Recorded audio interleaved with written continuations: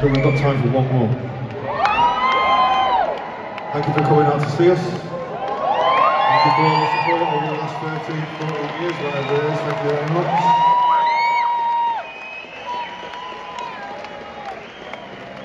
Have a safe journey home. We will see you somewhere down the road.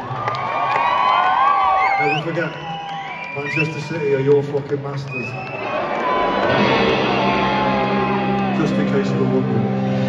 Good night.